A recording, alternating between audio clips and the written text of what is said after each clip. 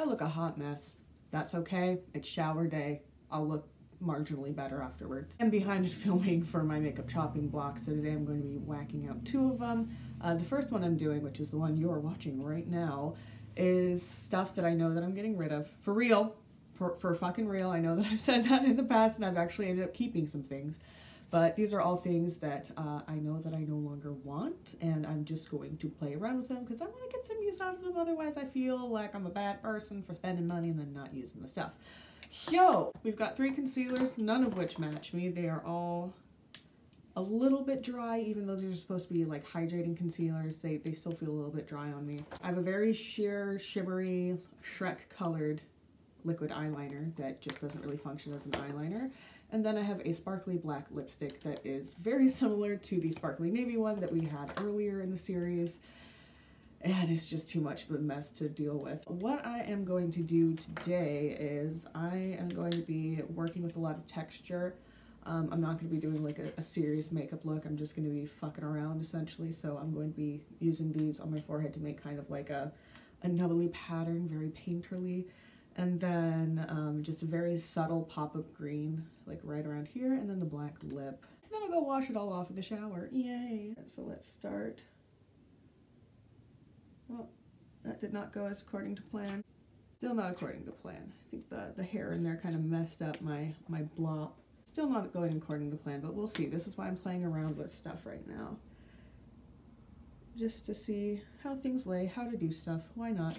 Makeup is always a learning experience, especially when you take a break from it for several years like me.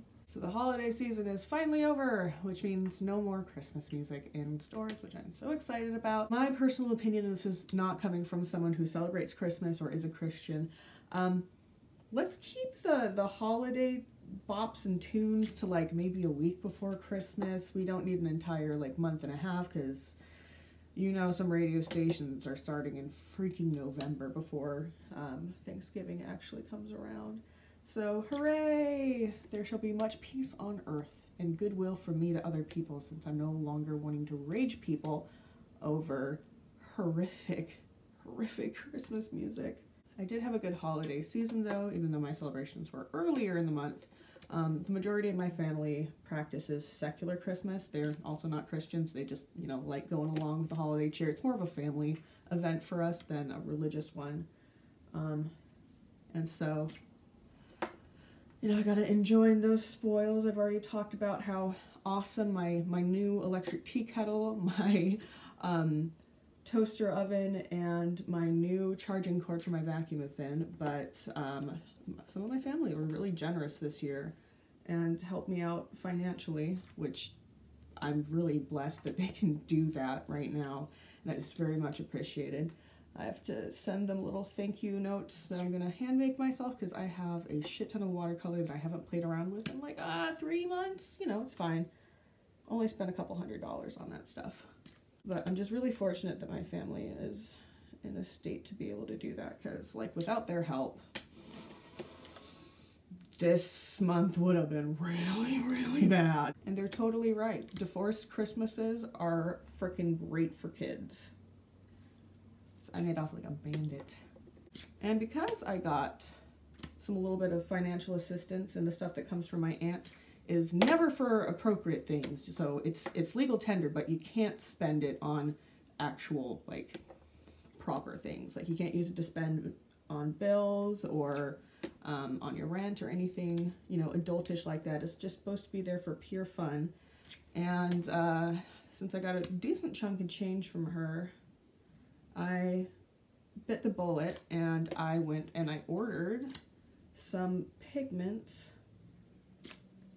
from an online pigment retailer and I'm really excited about that because well I'm just really reaching into the same shades over and over again here but I'm really excited about that because now I get to mix my own eyeshadows because I do have plenty I have plenty um, but some of them just aren't exactly what I need, you know? And since, you know, I've done watercolor in the past, I've done paint mixing and stuff like that, I feel like it shouldn't be insanely difficult for me to get the hand of pigment mix mixing. Um, I also bought some little pans and stuff to press on them, to press them in. And I don't know, I'm just really excited about it because I've got a small, small group of friends that are willing to be test test bunnies because uh, of course I'm not going to be testing anything on animals and I don't want to buy anything that's been tested on animals or that have come from animals with the exception of ethically sourced lanolin and or beeswax because I feel like those don't actually harm the animal as much. Um, and my mom owns, well, not owns an apiary. She has two beehives that she uses as a hobby. And um, she sometimes gives me, I keep hitting that one with the same color. But um, she sometimes gives me her leftover wax and stuff. And I feel like I'll use that because I've seen how she treats her, her bees. They're her, they're her babies. Babies, if you would. And um, yeah, I totally trust her in the humane way that she treats her bees. The first little group of things that I want to create is kind of like a Vocaloid inspired uh, color scheme because I've been playing a lot of Hatsune Miku lately and um, it's just nice being able to concentrate on one thing that's very much requires my attention but is still really engaging because as someone with ADHD, it's very hard for me to pay attention. But I can pay attention for the Vocaloids. So I want to do a nice, like, let's see, a nice teal for Miku, obviously, a nice like strawberry milk pink for Luka, um, obviously a nice bright blue for K, not Keiko, Kaito. Kaito's my favorite. And then a nice red for um, Meiko and a bright yellow for the twins plus like a shimmery overlay shade that has like kind of a gold shift for, you know, the other half of the twins. This is not turning out like how I wanted, but you know, it's fine. We'll keep going. Here to play and make discoveries, and even though they're shitty discoveries like this, you know, it's, it's, it's all part of it.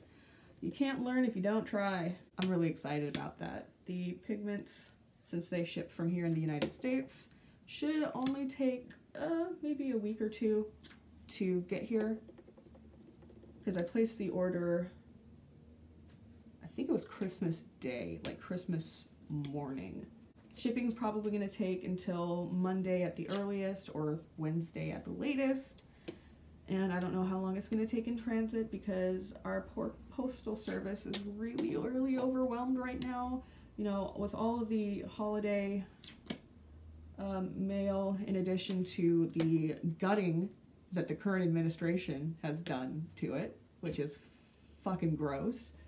Because honestly, like, you know, when you have people in positions of governmental power or just like, you know, local or state power, like the police or like judges or uh, presidents or mayors or stuff like that, you always hear people have gripes with them, be like, yeah, yeah, fuck this mayor, or like, fuck that police officer in particular, or just fuck the entire police force. Um, but I've never heard someone say, fuck that mailman. Like, they are by far one of my favorite public servants. Yeah, they're, they're pretty rad. And I very much want them to stay in business because it is so much cheaper to go through our, you know, nationalized postal service, which we've been using for quite some time. It's easier to go through them than pay out the ass for FedEx or UPS because they just go crazy with the fees, especially if you have to be delivered to way, way, way, way, way out in um, like rural areas, it just really gets expensive. I'm all for the postal service and I can't wait for them to deliver unto me my package of creativity. I got several like shift shades too and like um like gleams and stuff, little mix-ins and stuff for the pigments, which most of which are matte. Um, so that'll be fun. Experimenting with shifty shades and sheers and all that other stuff. I can literally do whatever I want. I love that. Should I keep going all the way down my face for this? I think there's probably enough. Also probably recycle these tubes as something that I could use for potential future sample packaging so I can give stuff to my friends like in a professional nice little tube instead of in like some sketchy little tiny drug bag, which is what a lot of my, my pigment samples are coming in. So I want to at least keep them a little bit nicer looking. I don't think I've ever worn this much concealer in my life. Well, I hope I haven't. Jesus. I remember this one time, the one time that I wore foundation for like the first time was to my school district's like theater awards because we have a very robust theater department, which I think is fantastic. But I got some of my mom's uh, Wet and Wild foundation that they don't even make anymore, um, and it was too dark for either of us. And of course, it oxidized just heavily. So I put on a whole lot because I didn't know what I was doing. And I was like, yeah, you have to have full coverage. And what I thought was full coverage was you just had to have everything covered with foundation. And Lord almighty, I am glad there are no pictures of that event because I looked a fucking mess. And I probably had this much stuff on my face at this time, but of course, sheared out and whatever. Um, I'm just happy that I have grown as a person since then and I have learned how to uh, properly do things or at least do them a little bit better than I used to, really. I'm just so excited about all these pigments because like I'm definitely a color person. Um, I see colors and I become obsessed with like certain color schemes or something like that. So I feel like this is going to be a really good way for me to express myself and also prevent me from buying more makeup in the future because hey, why would I go buy a $50 palette with, on, with like, you know, 12 shades, only two of which I want, when I could just formulate similar shades at home? Like, you know, it's not rocket science, it's just color theory and cosmetic chemistry. And I've been doing a lot of reading up on uh, ingredients and uh, preservatives and stuff like that just to make things shelf stable and figuring out what things actually do because I know right now there's this big obsession with clean beauty and like no chemicals. And honestly if you had a beauty product with no chemicals in it you would have you wouldn't even have fucking air because that's a fucking chemical too. Literally everything in the galaxy is made up of chemicals. You cannot get away from them. It's just how things go. However i do concede that there are some um, you know ingredients that do cause a lot of harm um, most of which have been banned by the FDA and stuff like that for use in cosmetics like lead and asbestos and stuff like that. But it still sneaks in because you have huge companies like Johnson & Johnson using a whole bunch of talc, which has been kind of filled out with asbestos. So I don't want to be that asshole. I also want to figure out what's going to be the best options for doing shelf stability. And right now, I'm not super worried about it because it's just going to be pigments, but later on maybe I'll want to do like lip glosses and stuff like that because I think that's a I think that's a really fun project. I honestly kind of look like a race from Star Trek. Just kind of getting there, a little goopy, a little weird. This is taking forever. I made a bad decision with what to do with my time. Oh my god, we're almost getting there. The upper half of my face is gone. It's done. Ugh. Holy balls. I'm never doing this again. We're starting to get a little bit thin on this one. Starting to see the uh, inner workings of that. So that's cool. Does this count as panning products? Probably not. I feel like this is cheating. Now that these are kind of thinning out because I'm using product, that solves my problem of figuring out how to how to fade these things because I was worried that I would not be able to, but they're getting less blop every time I do it, so I'll just kind of peter itself out.